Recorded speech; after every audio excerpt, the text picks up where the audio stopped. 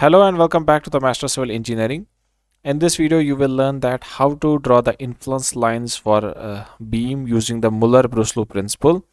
These are also called the qualitative influence lines. Okay, I have been given a question which states that we have to draw the influence line uh, for this beam for the vertical reaction at B, shear just to the right of the rocker joint at A, the moment at C and we have to solve this uh, problem using the Muller-Breslau principle. Okay, this is an overhanging beam of total span 18 meters okay?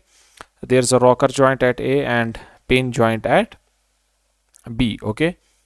So to draw the uh, uh, influence line first for the vertical reaction at b according to the muller-breslau principle for determining the influence line for reaction at b we have to replace this pin at b by a roller guide and then we have to apply the positive upward force. The beam will deflect to the red line which is shown in this deflected shape which represents the general shape uh, of the influence line for reaction at B. Okay.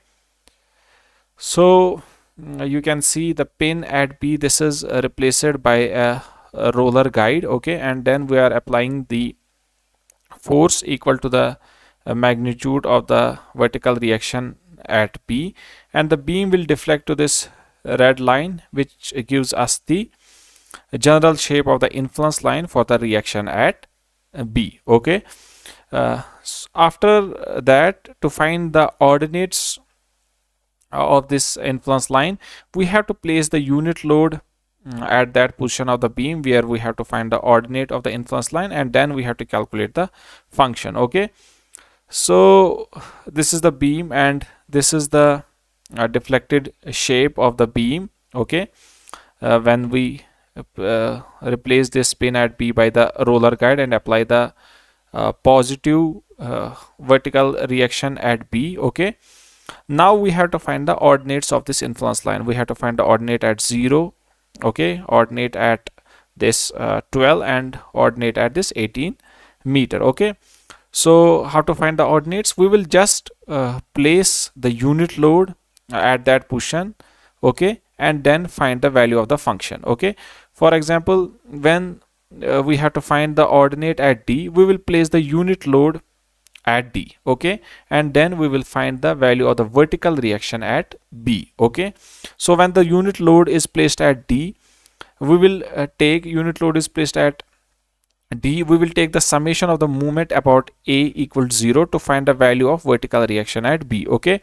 So it will be uh, minus 1 into 6 taking uh, clockwise movements as positive and anti-clockwise as negative. Movement due to 1 uh, 1 unit force about a will be minus 1 into 6 and movement of this vertical reaction at b about a will be uh, minus by into 12 both movements are anti-clockwise okay? This gives me the value of by equal to minus 0.5 it means this ordinate here this is minus 0.5 okay?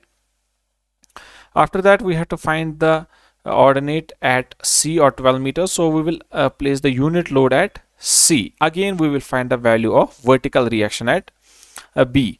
So when the unit load is placed at C again we will take the summation of moment about A equals 0 so uh, unit load is at C movement of unit load about A this will be 1 into 6 and this will be a clockwise movement and movement of vertical reaction at b about a this will be by into 12 and this will be an anti-clockwise movement so, okay we are taking clockwise as positive and anti-clockwise as negative. So this will give me the value of by equals 0 0.5 it means the ordinate at 12 meters when the unit load is at uh, c uh, this is 0 0.5 okay after that we have to find the ordinate uh, when the unit load is at b.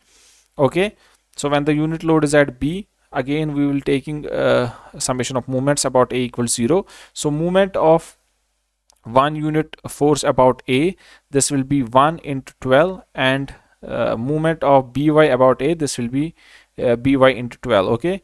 U movement due to unit load this will be clockwise and movement due to by this will be anti-clockwise. We are assuming the by in the upwards direction okay?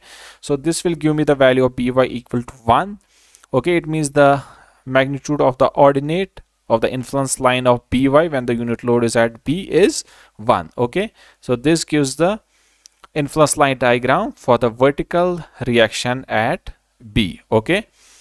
After finding uh, the influence line for vertical reaction at B now we will find the influence line for shear just at the right of the A okay? So according to the Muller-Breslau principle influence line for uh, shear okay this is uh, we have to uh, place the roller guide at A okay?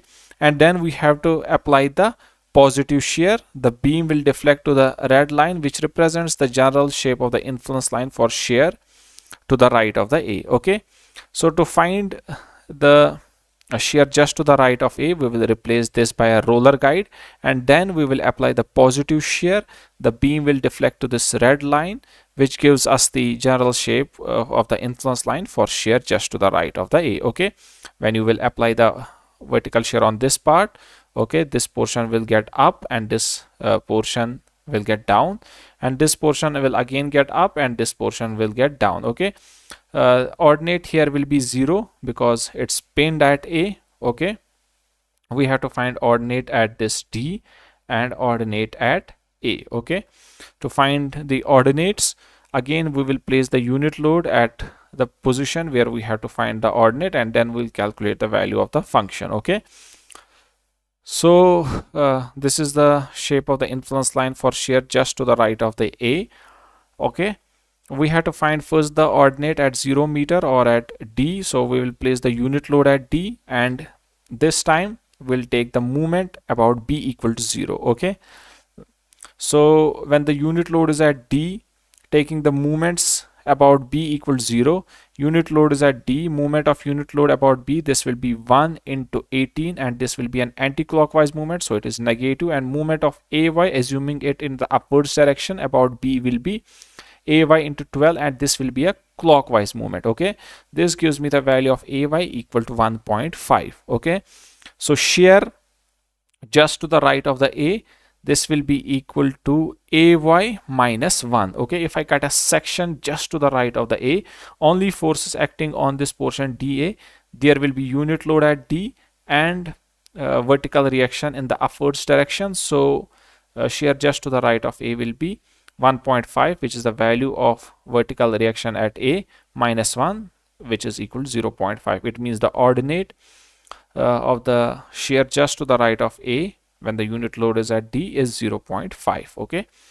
After that we have to find the next ordinate at 6 meter or when the unit load is at A. So when the unit load is at A again taking the summation of movement about B equals 0 movement of unit load about B this will be 1 into 12 this will be an anti-clockwise movement and movement of vertical reaction about B assuming the vertical reaction in the upward direction will be a clockwise and it will be AY into 12 this gives me the value of AY equal to 1 okay if I cut the section just to the right of the A only force which will be acting on the section it will be AY so shear just to the right of AY uh, shear just to the right of A will be the value of vertical reaction at A which is 1 okay so ordinate when the unit load is at A uh, for the shear just to the right of A is 1 okay after that you will find the ordinate at 12 meter. Again you will place the unit load at C okay and then you will calculate the value of vertical reaction at ay by taking the summation of moment about b equals 0 so moment of unit load about b when the unit load is at c will be 1 into 6 and this will be an anti-clockwise movement so i'm taking it as negative. And movement of ay about b this will be a clockwise movement and its magnitude will be ay in 12 this gives me the value of ay equals 0.5 shear just to the right of A if I cut a section at just to the right of the A only uh, force which will be acting on this section dA will be the value of vertical reaction at A and its magnitude is 0.5 it means uh, the shear just to the right of A is 0.5 so this ordinate here will be 0.5 okay this is the influence line diagram for the shear just to the right of the A. Okay after finding the influence line for shear now it's time to find the influence line for the movement at C okay? According to the Muller-Breslau principle to find the influence line for movement you have to place the internal hinge at that point and then apply the positive movement. The beam will deflect to the red line which represents the general shape for movement at C okay? So if I have to find the movement at C I will place a internal hinge at C and then I will apply the positive movements. Okay this beam will get deflected to this red line. Okay this portion and this portion will get uh, remain fixed. Okay this will get up this will get up and this portion will get down. So this is the general uh, shape for the influence line for movement at C again to find the ordinates for the influence line you have to place the unit load at that position and then you have you have to calculate the value of the function. Okay that is the value of the moment at c. So this is the influence line diagram uh, for the moment at c. Now we have to find the ordinate at 0 meter and 12 meter because ordinate at 6 and 18 these are 0 so first we will place the unit load at d then we will uh, take the summation of moment about mb equals 0 okay? When the unit load is at d uh, moment of unit load about b this will be 1 into 18 and this will be an anti-clockwise movement and movement of ay about b assuming ay in the upward direction this will be ay into 12 and this will be a clockwise movement this will give me the value of ay equal to 1.5 movement at c this will be simply ay uh, into 6 minus 1 into uh, 12 okay so movement at C, this is given as AY into 6, uh, unit load is at D. So AY into 6 minus 1 into 12 okay? Distance between unit load at c is 12 and distance between ay and c is 6 okay? So movement is 1.5 into 6 minus 1 into 12 which is minus 3 this will be the ordinate of the influence line for movement at c when the unit load is at d okay? After that you have to find the ordinate for the influence line when the unit load is at C or 12 meters. So when the unit load is at C, again taking the summation of movement about B equal to 0 and calculating the value of AY. Okay, when the unit load is at C, a movement of unit load about B, this will be 1 into 6 and this will be an anti-clockwise movement and movement of AY about b this will be ay into 12 and this will be a clockwise movement because we are assuming the ay in the upwards direction okay?